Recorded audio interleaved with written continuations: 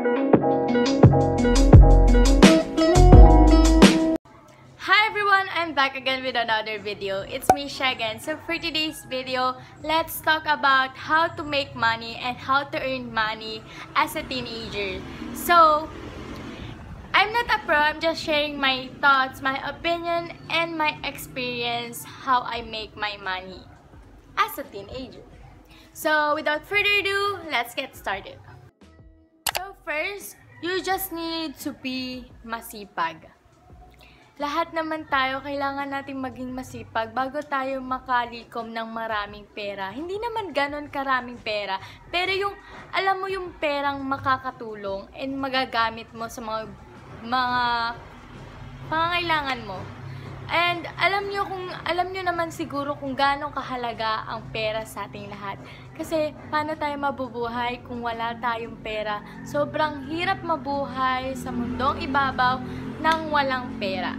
So, as a teenager, you can also help your parents, your family to to earn money.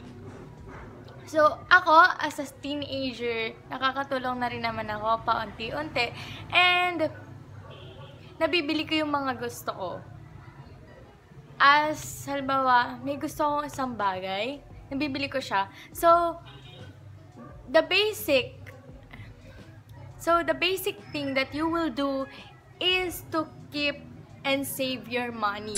So, as a teenager, napasok tayo. So, quarantine, wala pasok. Pero, once na bumalik na yung klase, once na napasok ka na and nag binibigyan ka na, na ulit ng baon, isave mo yon. I have here two ways kung paano mo magagamit yung money mo. Dapat meron kang, hatiin mo sila kung may wants ka or may needs ka. Dapat hati mo sila kung para ba sa wants to or para sa needs. Pero, mas kailangan na mas marami ang pera mo para sa needs kasi mas kailangan yon. Kaya nga needs, di ba? So, yung wants, wag kang masyadong wag kang masyadong ma-attract sa mga gusto mo. As possible, wag kang bibili ng gusto mo nang hindi naman kailangan masyado. Kaya nga, once mo lang, di ba? Hindi naman ganun kailangan. Pero, may once naman na kailangan mo din para sa sarili mo. So, limitahan mo yung paggamit ng wants and always use needs. So, as a teenager, ayun yung ginagawa ko. Yun yung basic na ginagawa ko. Nag-iipon ako yung, lalo na sa pagpasok ko, syempre, kailangan mong hatiin yung baon mo. Pag hindi mo naman kailangan magmerienda, if hindi ka naman gutom, hindi ka naman, wala lang. Save mo yung money mo. Huwag kang bili ng bili kasi doon nauubos yung pera doon nags doon nagsisimula na hindi ka makapag-save ng money and doon nagsisimula na wala kang maiipon talaga. So the second thing is you need to be a business minded. As a teenager, marami na tayong na-experience, marami na tayong nakikita ng mga business, business. Alam mo yung kaya ng teenager na business. Katulad na lang ng ginagawa ko, which is reseller. Nagre-reseller ako sa mga seller. Sa mga seller, syempre. Saan nga ba makikita ang mga reseller? Ang mga seller. So, pwede kang maghanap through social media, which is gagamitin mo si Facebook, si Instagram, or si Twitter. Doon, maraming maraming online shop or maraming seller na naghahanap ng, ng magre-reseller. So, yung pagiging reseller is nakakatulong din kasi alam mo yung nakaupo ka lang, nagsa-cellphone ka lang, may ma- ma- makakaipon ka na ng pera. Which is, gagamitin mo yung phone mo pag sa sell ng things, ng mga bagay, na kung ano-ano man na pwede mong ibenta. So, gagamitin mo yung phone mo, hindi lang yung basta nakaupo ka, nagsa-cellphone ka, wala ka namang nagagawa, wala ka namang wala namang nangyayari, ba? Mas maiging gamitin mo yung phone mo sa magandang paraan. And yung pagre-reseller, hindi naman siya mahirap as possible na masipag ka talaga.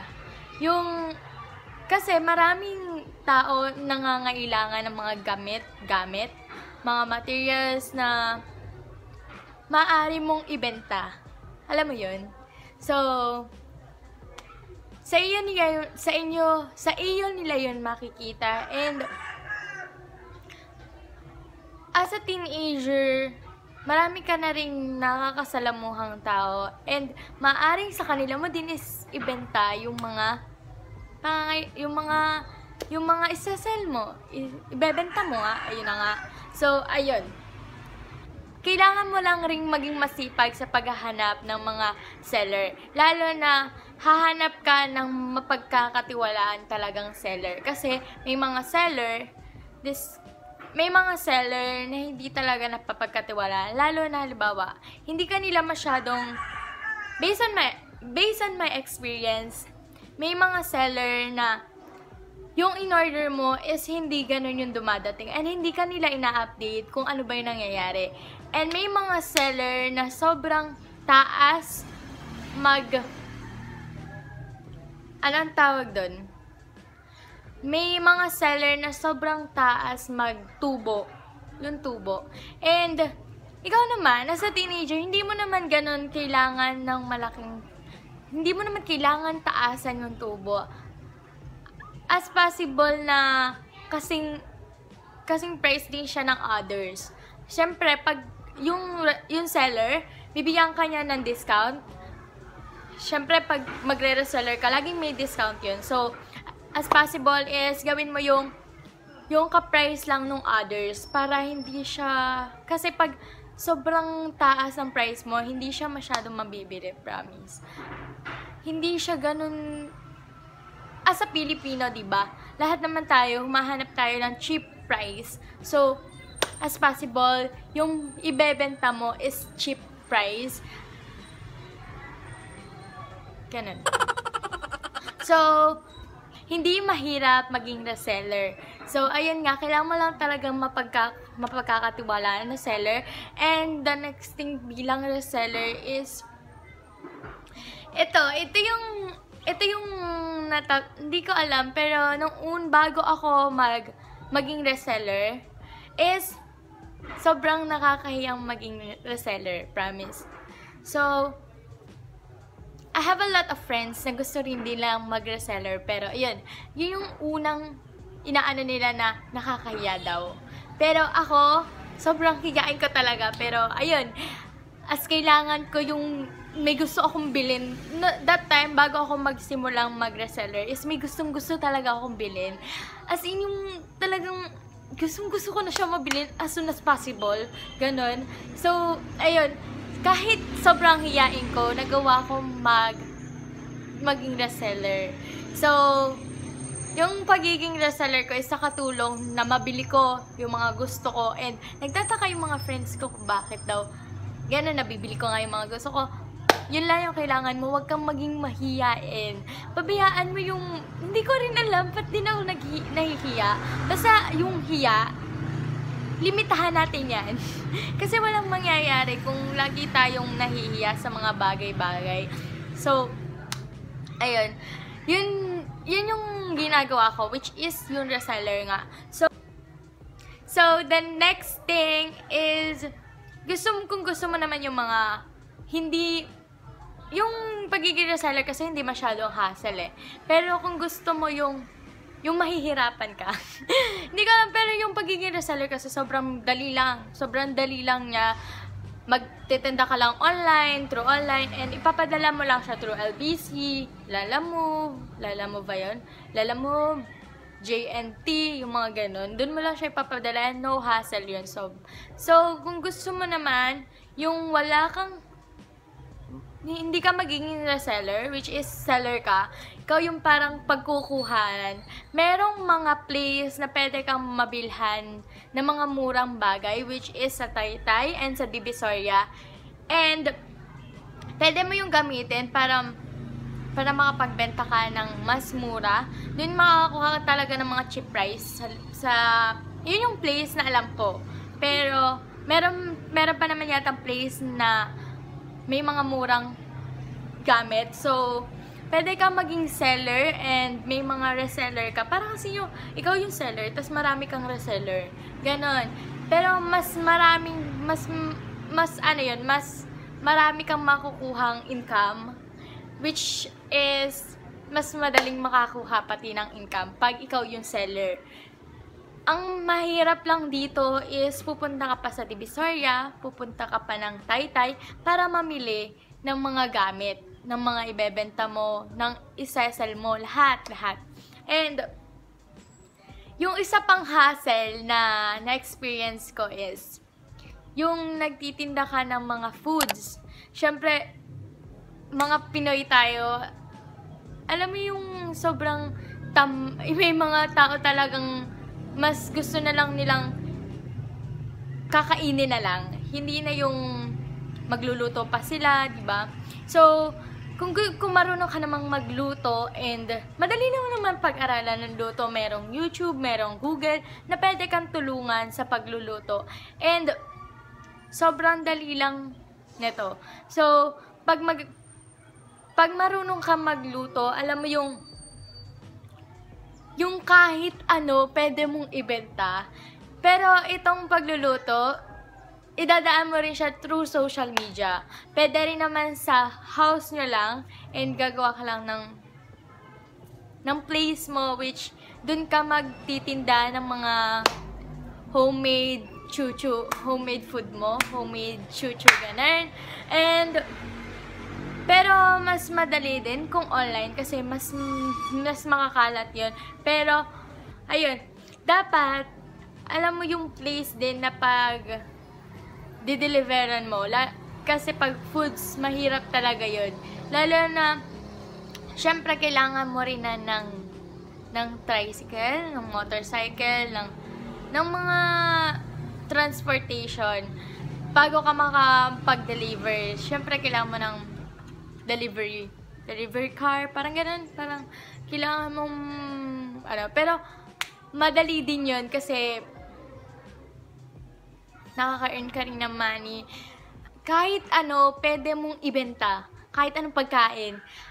As alam mong papatok, alam mo yung papatok, yung parang lahat, basta maging masarap lang yung foods na ititinda mo and alam mo yung babalik-balikan nila yung yung foods na in-order nila sa'yo. Alam mo na yun, dapat ganun. Pag-aralan mong mabuti, maging chef ka as a teenager para lang maka-earn ng money. Madaling, madaming ways para maka-earn ng money. Alam niyo yan? Pwede, marami, basta marami.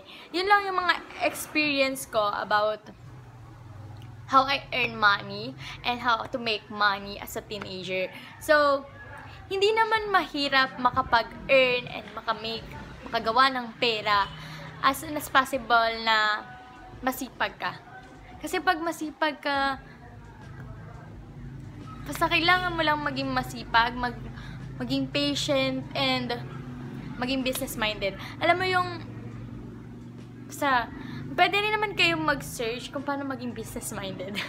Pero ako kasi, hindi ko naman pinangarap maging business businesswoman. Parang sa point lang siya ng life ko na gusto ko ring magawa ko, maging businesswoman. Pero, pero gusto ko rin naman maging doktor. Yan. so, as a teenager, hindi ko pa naman nararating yung pagiging doktor. That's why, nagagawa ko yung mga business na kayang-kaya naman ng mga teenager. So, hindi naman mahirap yung mga sinabi ko sabi ko nga sa inyo, kailangan nyo lang ng sipag at tiyaga. So, ayun. Kung magtatanong kayo sa akin kung saan, saan ka makakakuha ng, anong tawag dito? Parang yung investment, parang, syempre bago ka mag, paano, mag, bago ka mag, ka, parang, parang bago ka magka-business, kailangan mo ng pera, ba? So, ayun, you should earn money from your budget sa school. Kasi doon din ako nagsimula, excuse me. So, doon din ako nagsimula, nag-ipon din ako para makapagsimula ako ng business ko. And, yung pangalawa is, pwede ka namang humingi sa magulang mo ng pangsimula. And babayaran mo na lang sila once na nak- nakakaipon ka na. Ganon.